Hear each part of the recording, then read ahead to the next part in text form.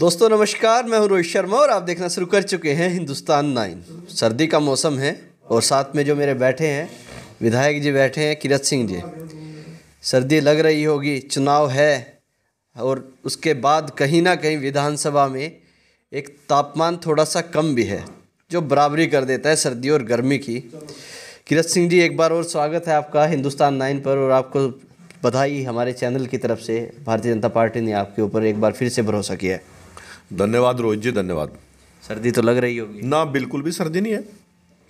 जब आदमी व्यस्त रहता है काम में बिज़ी रहता है तो सर्दी नहीं महसूस करता। सर्दी महसूस व्यस्तता की वजह से है या फिर विधानसभा में जो गर्मी चल रही है उसकी वजह से है? नहीं नहीं सर्दी तो है ही नहीं। जब आदमी मेहनत करेगा तो सर्दी नहीं लगेगी। मौसम मौसम तो सर्दी का है। मगर आप भी अगर काम कर रहे होगे तो आप सर्दी महसूस नहीं कर रहे होगे। नहीं अभी तो नहीं कर रहा हूँ लेकिन सर्दी है तो। हाँ वो तो मौसम सर्दी का है तो सर्दी तो होगी। मैं आपको फिर बताना चाह रहा हूँ जब आदमी बिज़ी रहेगा काम करेगा बहुत अच्छे से भारतीय जनता पार्टी का विधानसभा में चल रहा है। कोई दिक्कत लेकिन गंगों में जाता हूँ तो जैकेट की चैन खोलनी पड़ जाती है। सहारनपुर में होता हूँ तो बंद करनी पड़ जाती है क्योंकि गंगों में ज़्यादा गर्मी है। ज़्यादा गर्माहट है चुनाव की। अच्छी बात है गर्माहट तो होनी चाहिए। चुनाव का समय है तो गर्माहट अब नहीं होगी कब होगी और? चुनाव की गर्माहट तो होनी चाहिए। भरोसा तो कर लिया पार्टी ने। गंगो के लोग भरोसा करेंगे दोबारा से। पूर्ण रूप से। गंगो की जनता मेरे लिए आदरणीय है देवतुल्य है उनका पूरा आशीर्वाद मेरे साथ है। जैसे ही टिकट मिला तो सबसे पहले पहुँच गए आप प्रदीप जी के पास भी। वो भी इंटरेस्ट दिखा रहे थे अपना। मैंने उनका इंटरव्यू किया तो मना तो नहीं किया उन्होंने कि चुनाव नहीं लड़ना चाहता।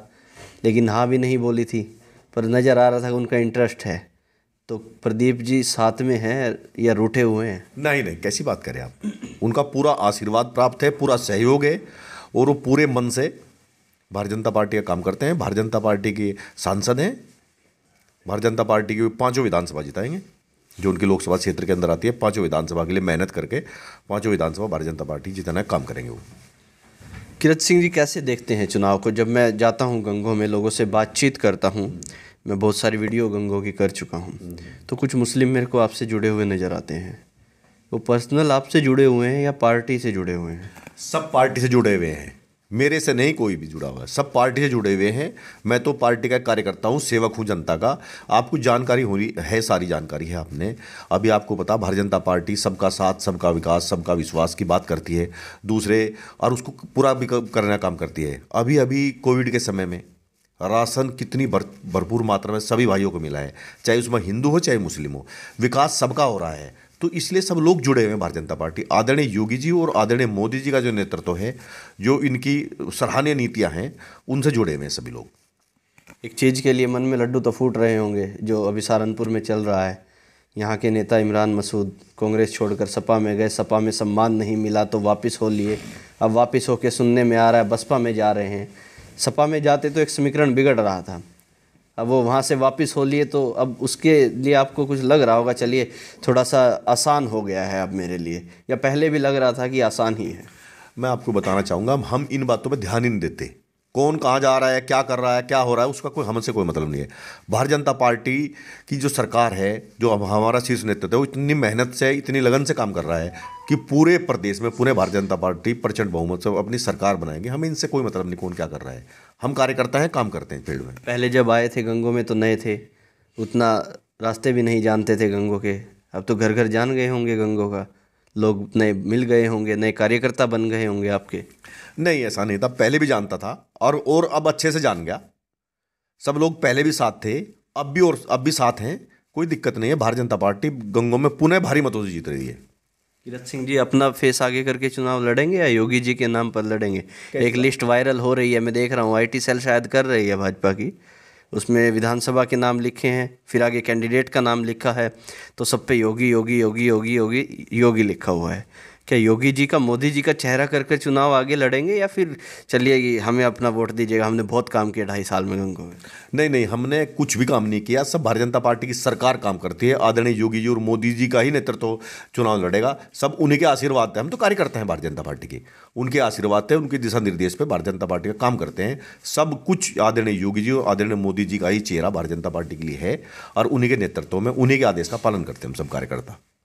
टक्कर कहाँ नज़र आ रही है? दो कैंडिडेट हैं सामने जिनमें थोड़ी मजबूती नज़र आती है। तो टक्कर किसके साथ दिख रहे हैं? आपको बता दूँ सीधी बात। बता दीजिए। पूरे उत्तर प्रदेश में भारतीय जनता पार्टी के सामने किसी की कोई टक्कर नहीं है। भारतीय जनता पार्टी पूरी तीन सौ प्लस सीटें जीत रही है और प्रचंड बहुमत से आदरणीय योगी जी के नेतृत्व में पुनः सरकार बन रही है। अखिलेश जी भी कह रहे हैं हम भी जीत रहे हैं। हम कब रोक रहे हैं? किसको कहने से किसको मना थोड़ा ही कर रहे हैं? कोई कुछ भी कह सकता है? स्वतंत्र है सब अपनी बात कहने के लिए। मगर बताऊँ आप भारतीय जनता पार्टी की पुनः सरकार लौट रही है। और आज एक बड़ी दावा मार दिया आपने मुलायम सिंह के घर में। ही उनकी बहू को भारतीय जनता पार्टी में ले आए। नहीं ये दावा नहीं है। ये तो भारतीय जनता पार्टी की अच्छी जो नीतियाँ हैं जो अच्छी कार्यशैली है उनसे प्रभावित होकर लोग भारतीय जनता पार्टी के साथ जुड़ रहे हैं। और जो बाकी छोड़ के भाग रहे हैं वो उनके पड़ोसी आपके भाग गए धर्म सिंह सैनी। उनके बारे में आप उनसे बात कर सकते हैं।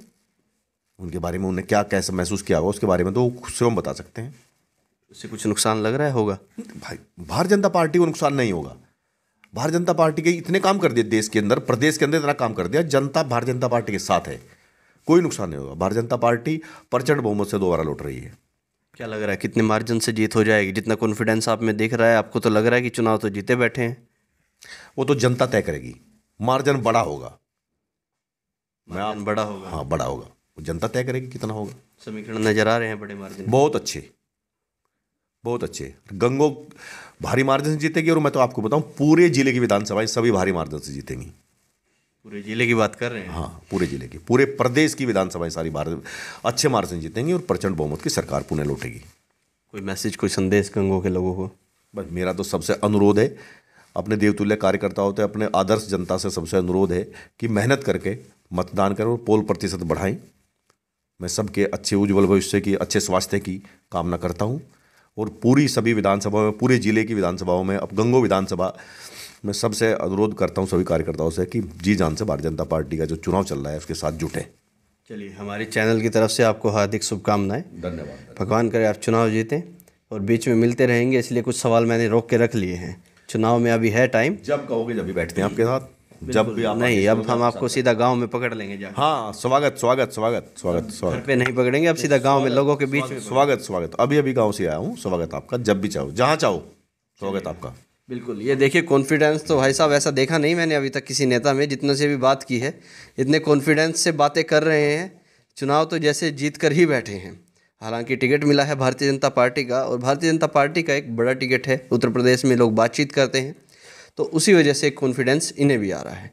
अब तक के लिए इतना ही। मैं हूँ रोहित शर्मा। आप देख रहे हैं हिंदुस्तान नाइन। जय हिंद।